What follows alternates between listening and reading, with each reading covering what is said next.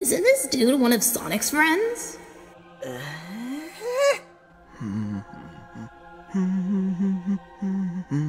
What was? Shadow! What the?